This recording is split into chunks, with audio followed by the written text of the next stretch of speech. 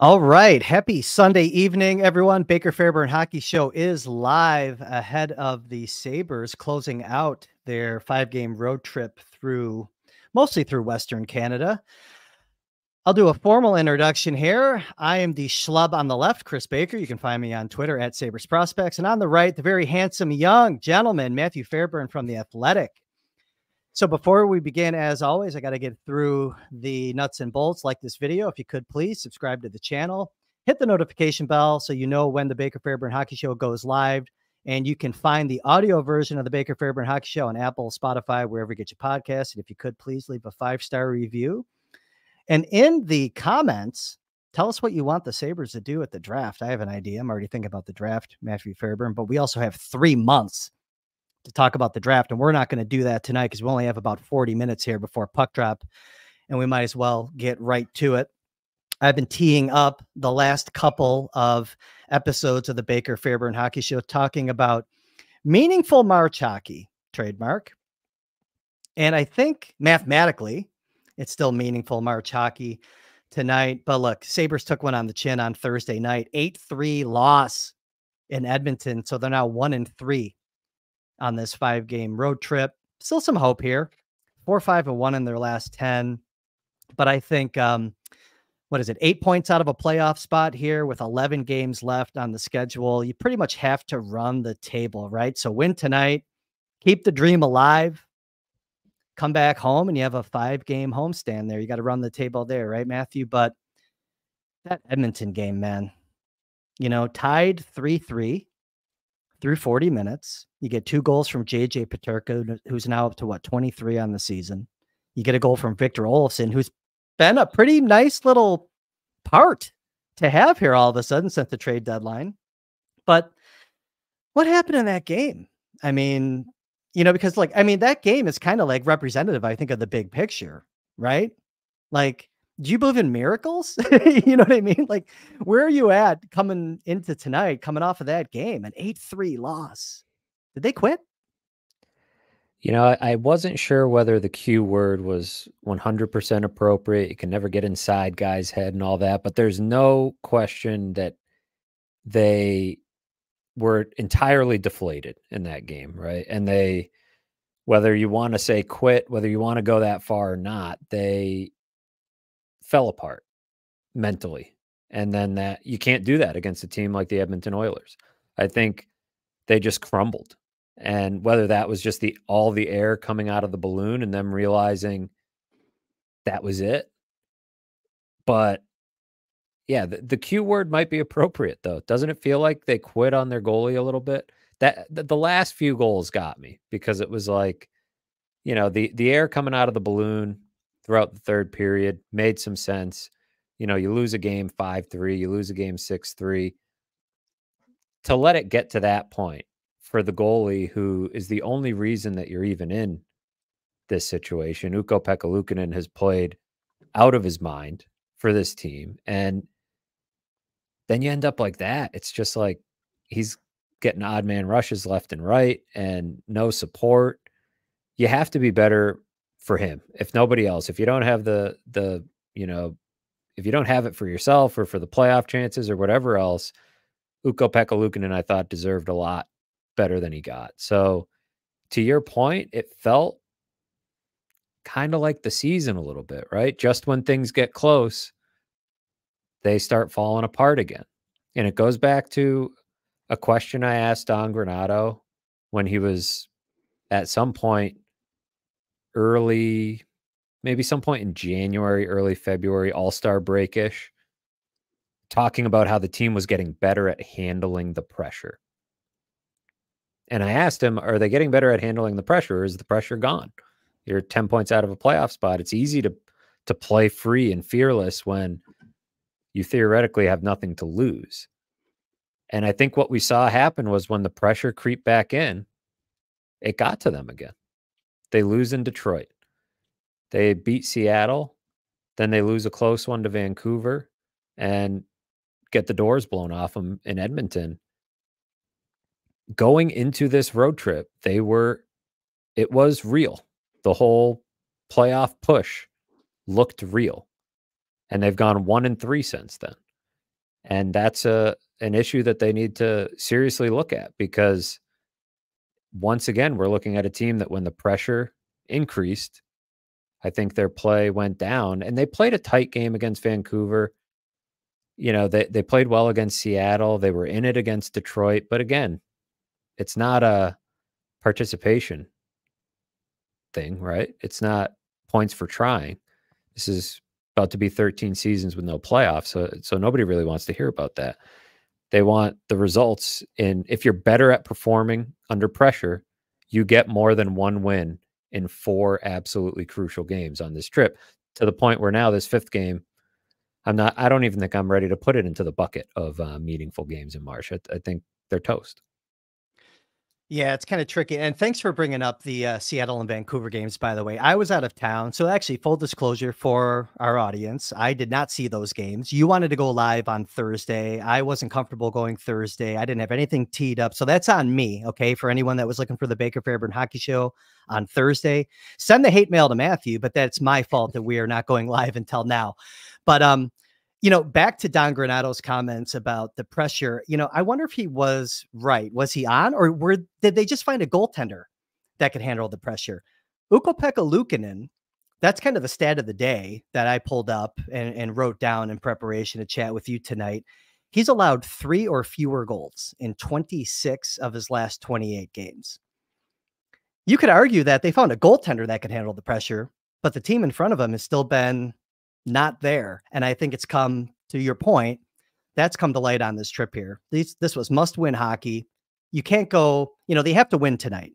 But even then, you win tonight and you're two and three on a five game road trip, road trip when you probably had to win at least four, if not all five. So, yeah, it's tricky, but you know, they do have some things going for them tonight coming into the Calgary game um, some of the things I wrote down. This is a city in Calgary where they've won four of their last five on the road. And, you know, as far as some of the guys that were kind of beaten on here, the skaters, um, you know, I think you have Tage and Tuch both have four game point streaks coming in tonight. But again, I mean, so what at this point? Because that's all that's also been something that's been, I think, a, a just a critical mark on this team is, you know, Peterka was a guy that we talked about coming into the season. He's had the breakout that you and I both kind of forecasted for him. He's up on that top line now. Secondary scoring has been inconsistent. You got to get more out of those other guys. So I, am really curious to see what they do tonight. But um, you know, back on that Edmonton game, the game that the recent game that I did get a chance to watch. I was texting you during that game, and it's like the only real thing, like, was the Owen Power offsides, like not gaining the zone was that the like I don't even think that was the turning point. It was unfortunate, but they were moving in a really good direction. Was that like the bag deflator for them? Do you think? Because like he had rusek and Olofsson breaking into the zone with speed, and the only thing that I wrote down is that the best teacher of the game is the game, and he won't make that mistake again. But that was bad timing for that mistake. And then the thing, it's just they hung they hung with the Oilers a little bit after that, but man, that was a bag deflator. I don't know what your take was on that singular play before we move on with a, a chance to really take charge of a game, right? And you you miss that chance. And then when things start getting away from you on the other end, you know, that's one that you would want back. But I think you just can't have those things continually be bag deflators, right? If it happens once in a while and you're third in the division and you lose eight to three on the road, you lose eight to three on the road and, and you chalk it up and move on. But you can't have singular plays deflating you. You can't have singular games causing you to spiral. You can't have the fact that people are talking about the standings start rattling the team. It should excite the team, you know? I I was before they left for the road trip talking to Alex Tuch about it. And, you know, I was like, you know, it's crazy because I had talked to him down in Florida and the tone of the conversation was sort of, you know, debriefing almost what had gone wrong, almost as if the season was, was kind of, we were both, you know, pretty clear on where the season was at that point heading into the deadline. And I said, Can you believe, you know, where it's at? Here you are. And like, you're in a playoff push. He says, Well, yeah. He's like, you guys can't stop talking about it. Which, you know, that should be what you want, right? And I think it is what Alex Tuch wants. He was excited by it. But the fact that everybody was talking about it seems like it seeped into the team again. Now, they might dispute that. Don Granato might dispute that. I don't know. But the results are the results. And you mentioned that Owen power play, and it just makes me think about where this team is, like where and where they're going, because if singular plays cause things to go down a slippery slope in a game, if singular games do it to you in a season, that's what is interesting about the last 10 11 games for me is it's still major evaluation mode and i think there were people who were worried that the three game winning streak and it was just a three game winning streak doesn't it feel like it was a 10 game winning streak the energy it brought for a little while. Yeah. That three game, like that. I mean, number one takeaway for me above everything else is how badly people around here want to buy in. As negative as people can be and as angry and upset as they can be, they are looking for an excuse to buy in because that three game winning streak felt like I said, like a 10 game winning streak, the way people were were jumping back on, you know, the bandwagon, at least, you know, on social media and stuff. Well, and also, by the way, in the locker room, like you, yeah. you gave Tuch the uh, playoff percentages, and he told you it feels. Like you like said what it was five or eight. He said it feels like more. So it wasn't just right. you and I or the people in the chat, the fan base. It was the players themselves. Yeah, you could feel it, and that just goes to show you how badly people around here are ready to ready to be hurt again, as they say, right? They're they're willing to throw themselves headfirst into it. But there was a, a, concern I saw from some people, commenters, you know, and maybe even some people in the chat when we went live that, you know, would this run change the outlook on the offseason internally from Kevyn Adams and Don Granato? And that's a a fair concern and a, and a fair question because you don't want the as uh, you know the heroic run to ninth place or whatever to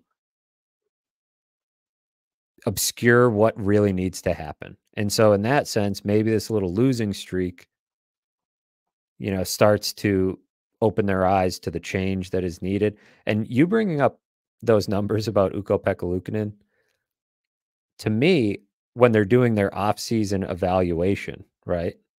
And you're sitting there and you're saying, okay, what went right? What went wrong? How close are we? What needs to be done? If you're the Sabres, how much of your even slim, slim playoff hopes that you had for what, a week? It was like a week where the playoffs felt real because before mm-hmm. that, it, it, there was no point in the season up until then where it felt like they were in it at all. Yeah, and they no. were felt like it maybe for a week and then now it's gone. And the only reason, maybe not the only reason, but I would say a big percentage of the reason is because of your goaltending. A goaltender who yes, they misevaluated, would it be fair to say? I don't know. Maybe that, not. Yeah, I don't. I don't. I don't know if that's maybe he earned. Just... Maybe he earned where he was as the number three coming into yeah. the season. But yeah, a goalie that let's say they weren't counting on, right? It wasn't necessarily the plan for this season. They were waiting on. Right. They As they laid it out, they weren't sitting here saying this season is going to go well because Ukko-Pekka Luukkonen is going to take the next step. They were not banking on that. And no. the fact that he did made it so that they were afloat in March. You know, they, they were still there. But outside of that, there's still a lot to poke holes in and a lot that they need to fix. So without Ukko-Pekka Luukkonen rattling off what 26 of 28 games? Is that what you said? 26 of 28 uh, 26 of his last 28 three goals or fewer allowed. And then and one of those is the the big one in edmonton right? So, so without that where are they? No it's smoke and mirrors. That's what that's where i'm landing on the season to date is that they had that run. You just talked about that week where everyone was feeling good. If you take a step back and you look, the they've been a flawed roster from the start. We've talked about that ad nauseum. And it took me a little while to get into the point of agreement with you. That's been your point all season long that when Quinn went down, they didn't address it. That contributed to the slow start. And not having maybe like the, the Ukko-Pekka Luukkonen was not like a standout from the beginning of the season either. He also had to work his way into rhythm. But when he got going, that's when things got better. When Jack Quinn came back in the lineup, that's when things got better. I'll make that argument. I've said that all along. I think that he's the, like just changes the way they look. I've said it a million times. But what does that say about Tage and Tuch and Dahlin and these guys are supposed to carry you? The inconsistency. You can talk maybe Tage has had some injuries, right? But at the end of the day, my point is I think the goaltending has masked, and that's your point. It's masked the big issues on this team. So in reality, yeah, it'd be a lot worse if Luukkonen didn't figure out how to play in the NHL and get his game going. That's a crazy stat, though, that 26 of his last 28. But it also, there's another way to look at it, right? Do you have a problem solved? Do you feel good? About your goaltending moving forward because that's a critical piece. If you want to look for positives, hang your head on that one. But man, they have some fixing to do. And to me, it's all up front. Yeah, it's it's interesting to consider where they go from here because a big thing that they have or at least Don Granato is the one who has to talk to us, you know, every day over over a hundred times a season, basically between morning skates and post games and practice days. And so he becomes the voice of what they're thinking as an organization. And he does work in tandem in some ways with Kevyn Adams, as we saw in the embedded. You know, he's mm-hmm. this is not uh, you know, two separate silos. And it's always been that way. So I preface, you know, this by saying, you know, Don Granato has brought up their defensive improvement a lot. And they have improved defensively, but not dramatically. They've improved in goals against dramatically. But to our previous point, they have a really good goaltender right now. They have the best goaltender maybe in the NHL since January 1st. The defense has improved, but it's gone from basically the worst in the NHL to I don't know, somewhere between like 18th and 22nd, you know, somewhere in that below yeah. average tier. So you didn't become an elite defensive hockey team. And in the process, you lost a massive chunk of your offense, particularly your power play. So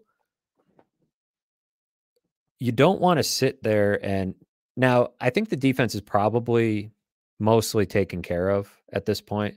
They have a decision to make on Jokiharju, but they, you know, you make yeah. the move for Bo Byram and you kind of solidified your defense but it's a team defense approach, and that's that's where I'm going. Right. Yes.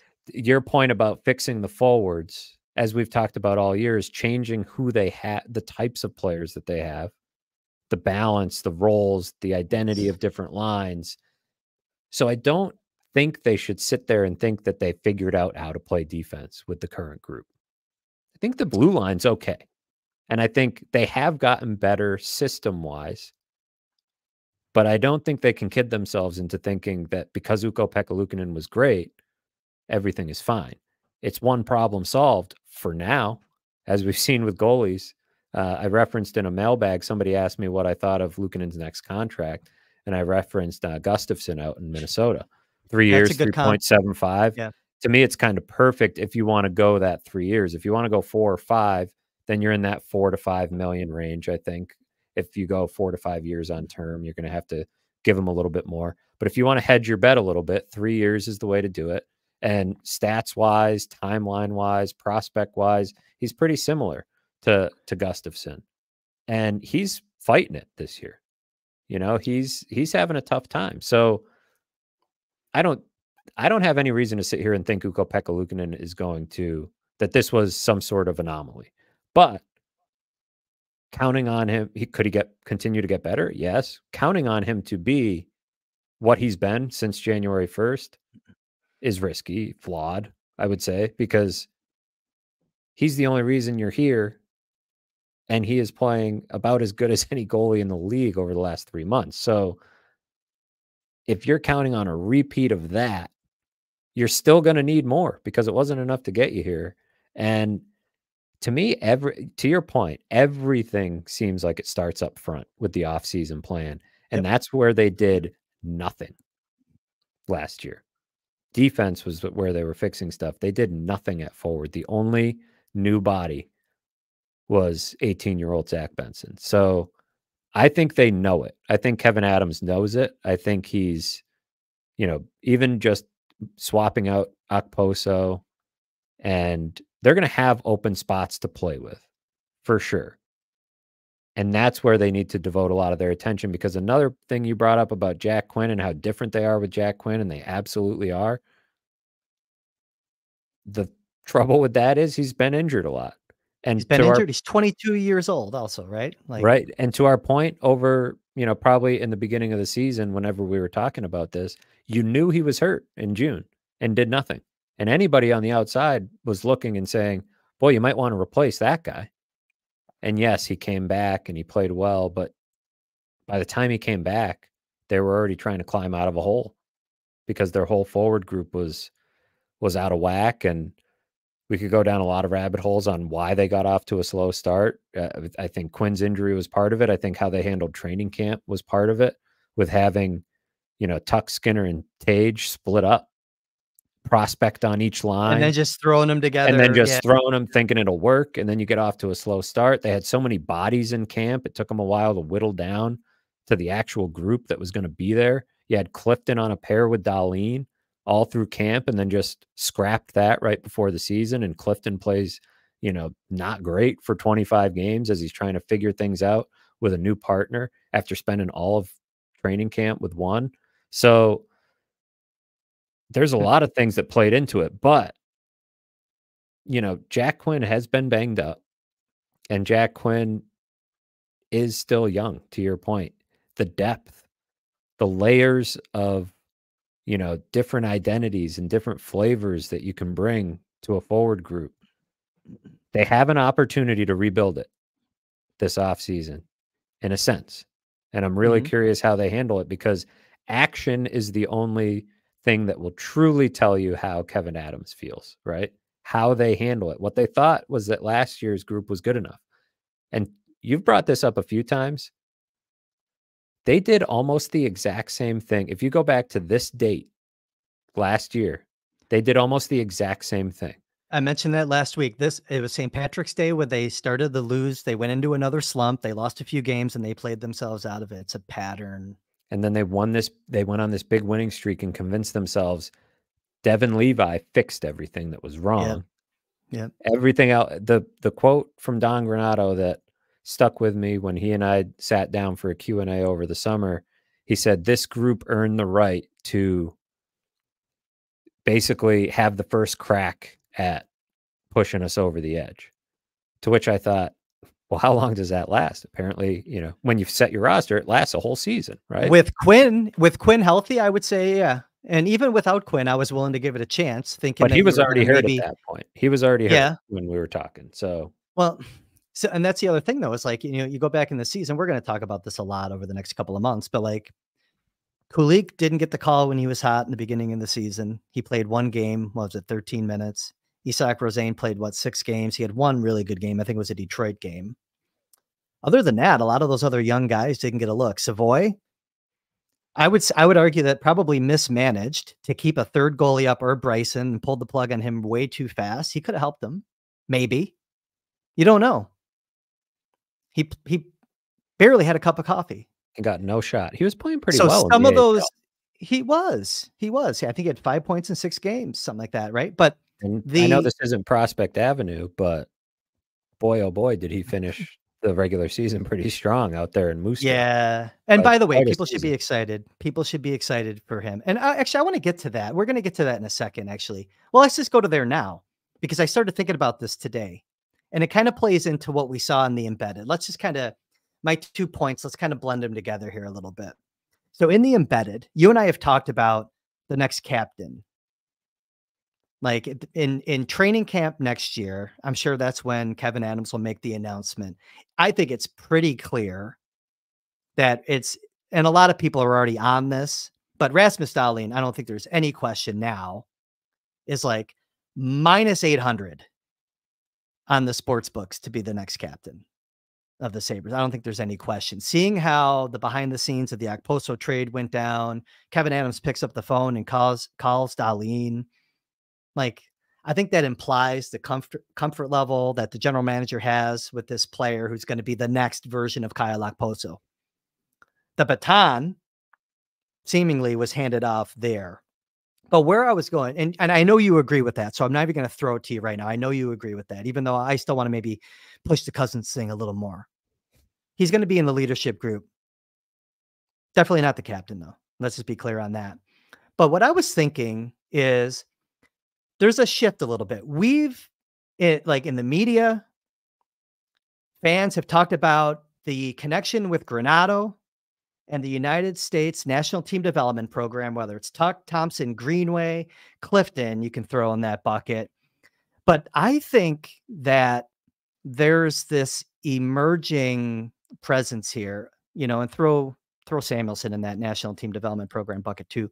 There is a WHL flavor on this team moving forward that's gonna be they're gonna be the guys that make this happen. It's Benson, it's Cousins, it's Bo Byram, and Savoie is coming.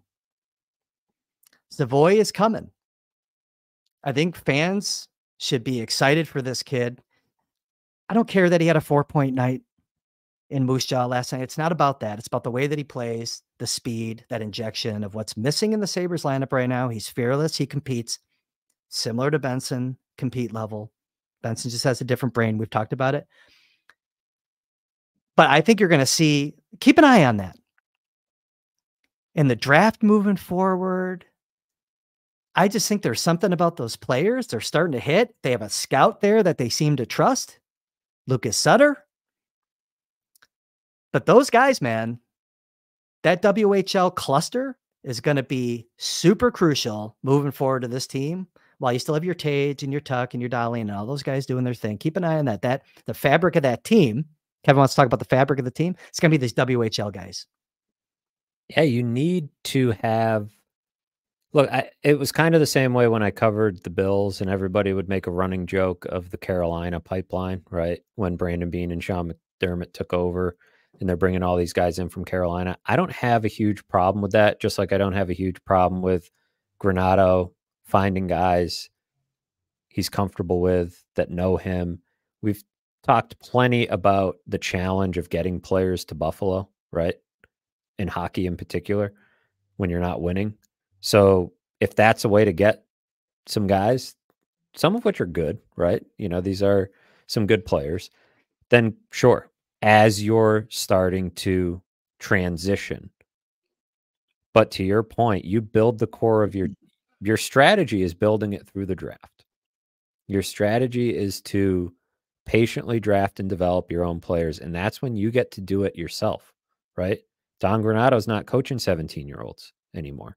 So it doesn't matter who's at the program or who's at, you know, uh, the connection isn't the same. And so the program was probably the Sabres version of the Carolina pipeline to the yeah, right? It, it felt like it because Don Granato didn't have a previous NHL job. Neither did Kevyn Adams. So they didn't have, you know, things to, you know, hang their hat on in that way. So you had to dip back into his time coaching at the program, which again is fine. And same with Seth Appert, right? He he's got a connection to a lot of those guys, which he came after Don, so he got to coach Samuelsson and, and whatnot. But it's a good and smart point by you because it's encouraging in terms of the type of player that they're looking for. And we discussed a little bit about there's two competing schools of thought, or even in my own head, when you can think about everything that went wrong this season or last season or in the off season that makes you question what they're doing, whether it's Kevyn Adams, Don Granato, the whole group. But then we discussed a few weeks ago if you're going to commit to a draft and develop approach, you do mm-hmm. have to be a little bit patient.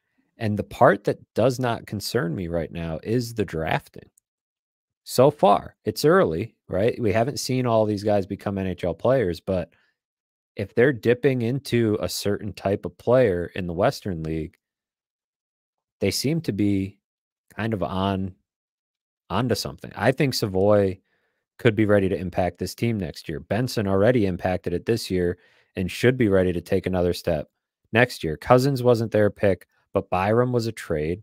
Cousins is clearly their kind of guy, right? You know, they that they developed and I think has the right style of hockey that they play in the Western League that they don't play in the Q. You see a little bit in the Ontario League, but there's a style of hockey there also. And I didn't I didn't want to step on you, but Krebs is a Western leaguer as well. Well, Krebs is, and you and you can say Jokiharju is too. He played in the Portland Winterhawks, you know, but I didn't I left those two out on purpose. So okay. But and I don't want to get carried away and thinking, oh, it's just going to be all WHL. I think there's going to be this undercurrent there though with how they draft moving forward. And by the way, I even told you what my draft strategy is. I should just blow your mind now.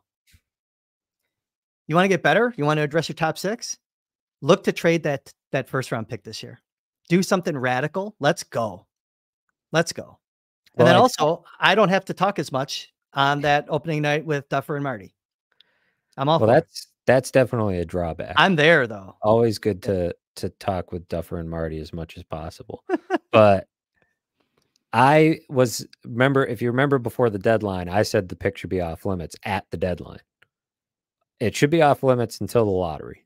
As soon as you know it's not, you know, that you haven't jumped way up, then, you know, if it's in that 10 to, to 12 range, yeah, it's on, it's on the table because one of the best ways to remake this forward group, I think, is to add something to the top six to push some guys down the lineup into more appropriate roles and add it's easier to add bottom six guys in free agency than it is to attract one of the big fish to come to Buffalo.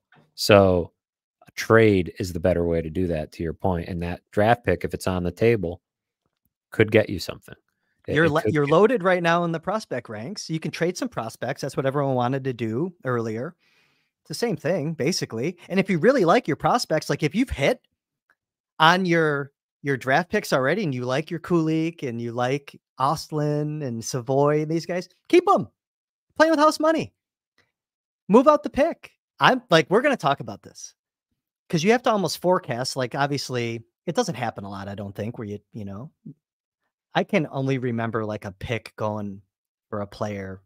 It was like 2013. I think that was Cory Schneider got traded 2013 Vancouver because I remember we were doing the broadcast of the draft from the Lexus Club. That's when Vancouver took Bo Horvat. You know, no, I'm not. I'm just trying to think of like trading a pick for a player. I can't remember like a precedent.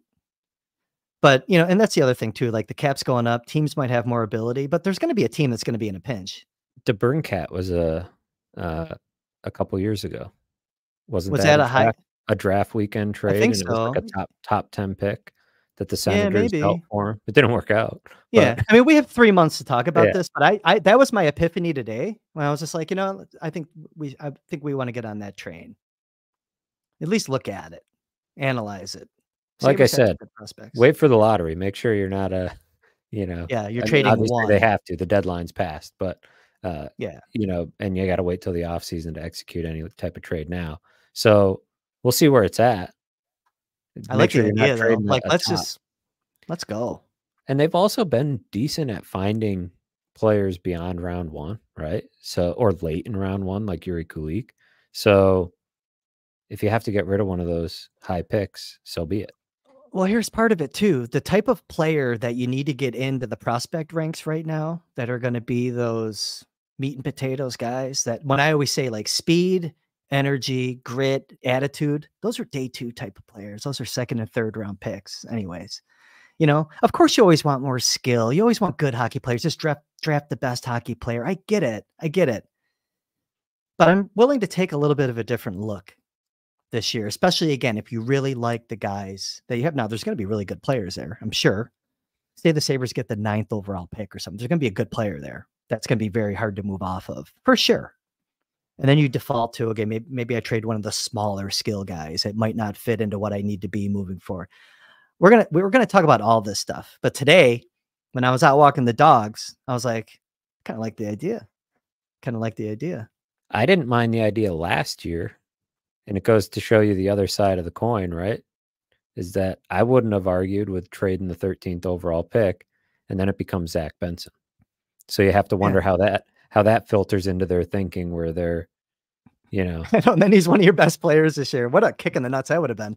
Right. Did you guys exactly. not having the goaltending and not having Benson? I know Benson hasn't lit the world on fire statistically, but he's been a like a glue guy in the lineup on many nights. He really has. And you imagine if he was doing that somewhere else with the pick, right? You know, you wouldn't want to, you better have gotten a good player. Who knows? But would he have been know. in the NHL this year if he was drafted by another organization? Though he might have been Probably back went at you with Savoie. You know, maybe he would have been a. I don't know if Moose Jaw would have had enough draft picks to get both him and Savoie for their yeah, right. deadline push, but well, that would have yeah, been. They couldn't. Yeah, yeah, yeah. That's right. Conor Geekie got traded the same day to Swift Current. Um, so let's. Um, we only have like a couple minutes left. I don't know if you started anything in the chat. I really haven't. I've been enthralled in this discussion. And then I just kind of dropped the bomb on you that we should move the pick. Um, Captain Ahab did uh, compliment you on a point that you were making about Granato being very good at developing boys. These are men and need to be treated as men and not coddled. Yeah, they're men, but they're not. many of them are not very much older than boys, and that's part of the problem I think that you have with the Sabres team right now. I catch um, myself often in the young. I, in the locker room, I catch myself. It happened to me the first time last year when I was talking to Tage Thompson about one of the younger players, and I I said to him as one of the older guys in the room, and he said, "Well, I don't know if I I would be. I'm an older guy," and I was like, "Yeah, yeah. you kind of are." sorry, you can you can shave. Sorry, dude. Yeah. right.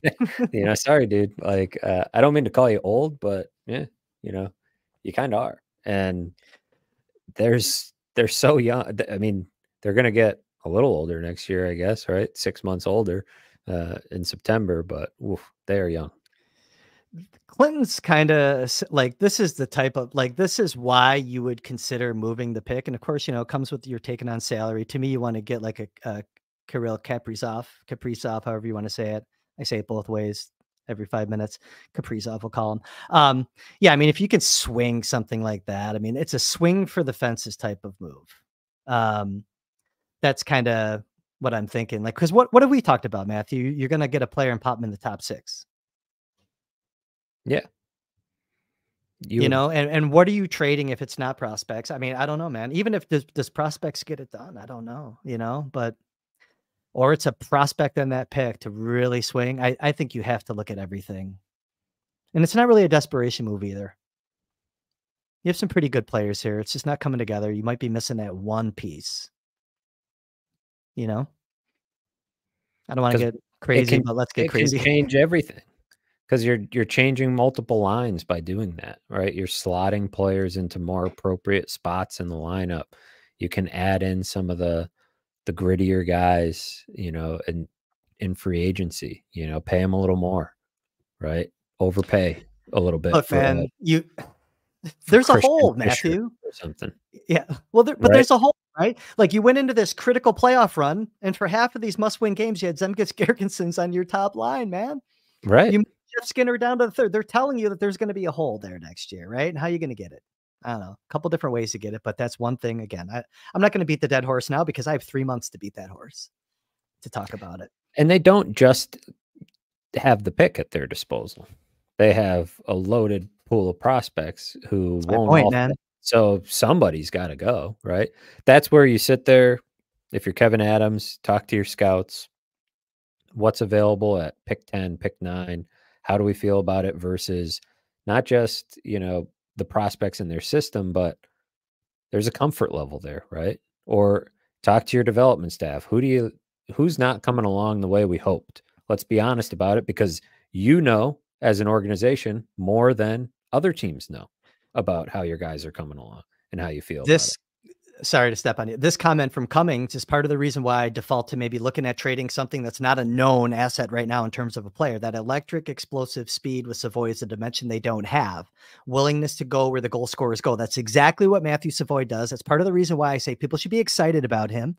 And that it's a known element that you can forecast into your roster. If it's not next year, it's quickly into the season, maybe after some seasoning You can you can make the same statement of praise about Ostlund, and you know what you have in Kulich. You have some players there that you like that are moving in a really good direction. Are still very young, and if you can keep them and move that pick and get a player now and create more competition, it makes sense, man.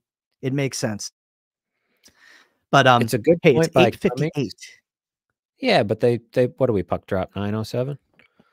You're not going to Yeah, okay, drop we can go a right couple at nine. over. We can go a couple more right. for the chat. Cummings makes a really good point about speed. We talk about this being a young team, and Granato talks about pace a lot. The speed is missing in certain spots, right? You know, and I think, you know, Savoie is one of those players that really does bring that element that you notice it in a game like Edmonton, right? And not just Connor McDavid, but the speed that a team like that plays with versus the speed the Sabres play with. Do they have those top, top speed guys? Tuch's pretty fast. You know, Tage Yeah. can get rolling for a bigger guy, but just from a pure pace standpoint, I think Savoie does add a lot as long as, you know, he's ready. You know, different to speed with Savoie and Tuch. Like Savoie's got the afterburners on quite a bit. Tuch is still very like it's some sometimes pacing himself to manage his minutes in the game. That's that tread on the tire thing that we've talked about.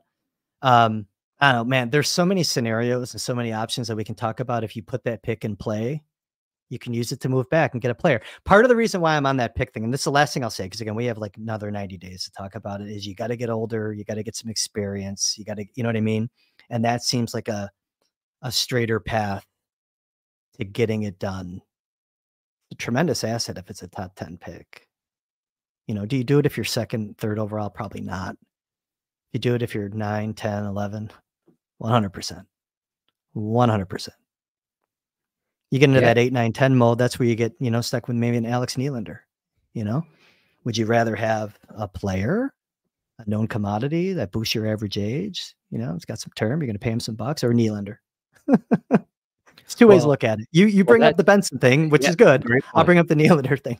And that's why you have to look at the class. You have to, you know, see how you feel, and you have to find a partner, right? A, a trade Yep. partner who feels, you know, pretty good about a player in that spot. Usually, that has to happen ahead of the draft. Seems like on the draft floor, a lot of that doesn't happen, although it can. And I'm for it. I, I really am because the window is supposed to be now, right? And yes, you want to stack layers of prospects and time them right and be ready to sustain success and all that. But you can't sustain success until you've had some success. So go out and get somebody that can help you do that next year because it's not being impatient to talk about that. It's not because you made all three of the picks in 2022. You made the pick last year. You made a couple of picks in Owen Power's draft Dude, you're loaded. there's almost too many. Kris Baker's computers are overworking over there. They're It gonna break down. Things going to be completely fried, and we need to, you know, that that is the hub of the Baker Fairburn Hockey Show. So if your computers start frying, we're in trouble for no other reason. Yeah. That's We why. plan. That's why they need to start. Uh, they need to start trimming some of these, some of these prospects from the ranks.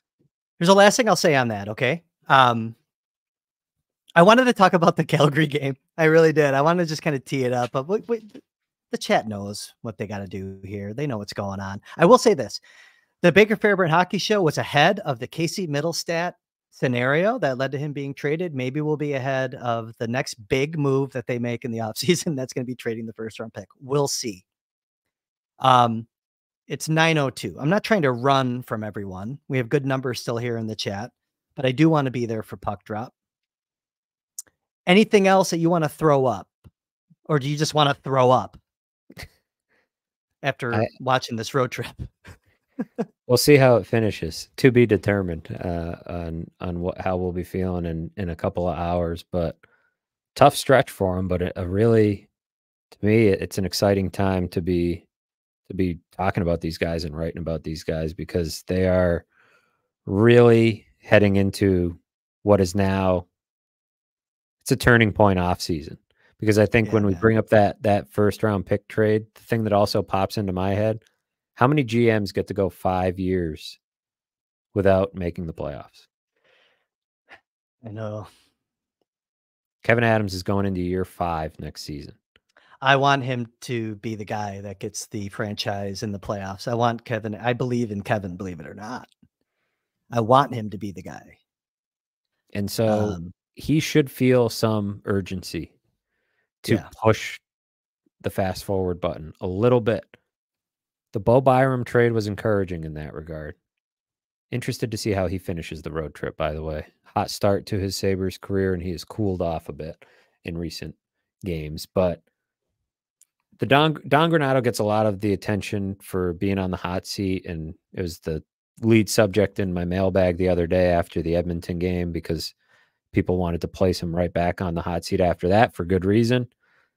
I said what I've said for months that it would be more than justified, but that doesn't seem like th- the route that they're going.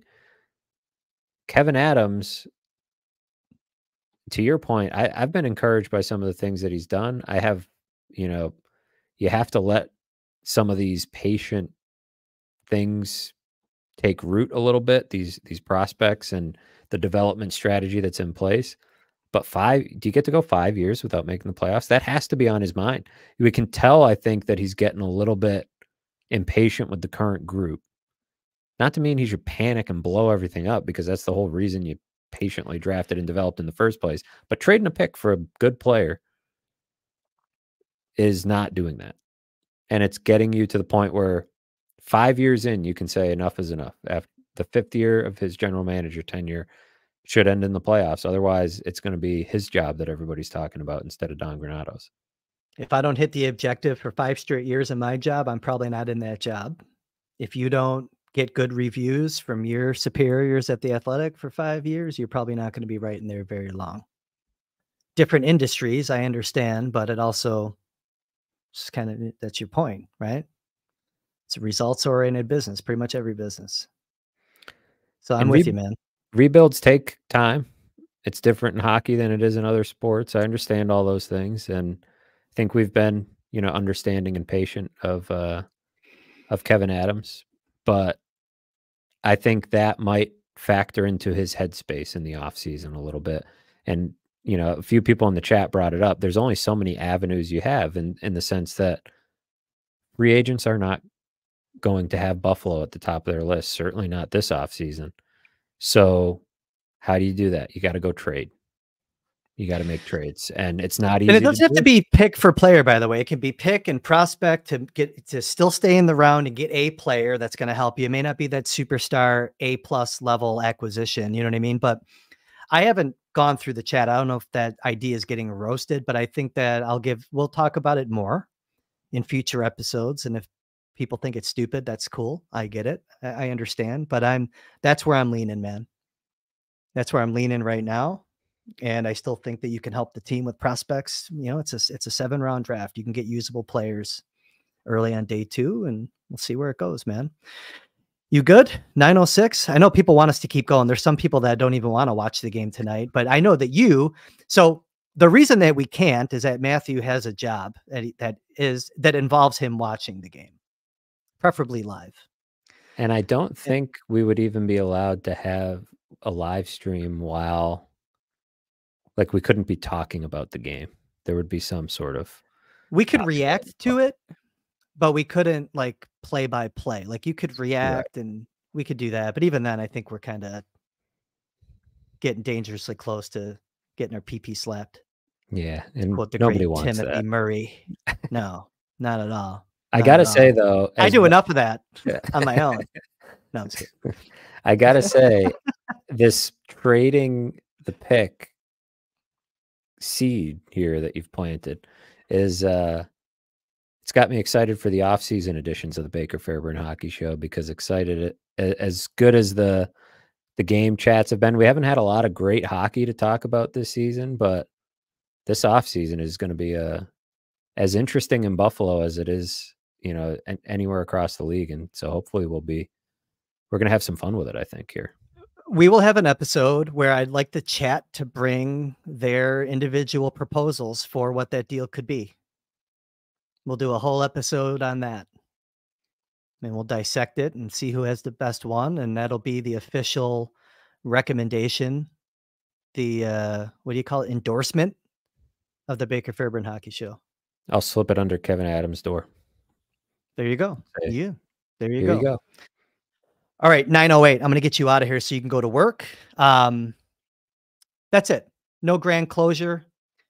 Thanks everyone for hopping in. As always, we appreciate you coming in and it just gets better every week. So um we yeah, that's it. I'm I, I'm going to get us out of here. For Matthew Fairburn from the Athletic, for the production crew who needs to to Matthew's point earlier, invest in some servers so we don't go down because of too many prospects lagging my computer. I'm Kris Baker. We'll see you again very soon ahead of the next uh, homestand here for the Buffalo Sabres. Have a good night, everyone.